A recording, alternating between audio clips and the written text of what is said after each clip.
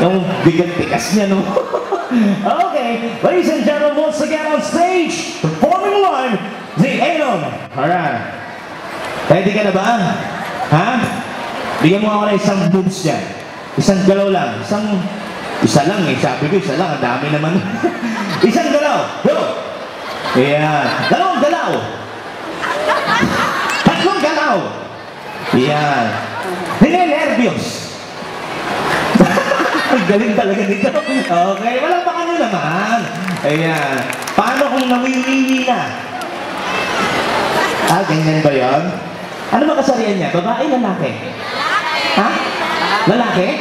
Is that true? Ah, okay. Ayun, babae. Baka naman bading-badingan lang yan, ha? Ayan. O, paano nawiwiwi ang baby girl? Paano? Sa kanya, pag lalaki, ganun eh. O, pag babae naman, baby girl, paano? Ha? ah, over, overling. Galing eh, no? Pwede, mabilis mag-isip ng dalawang to. Ang hirap yung pinagbuntis ng mga nanay niyo.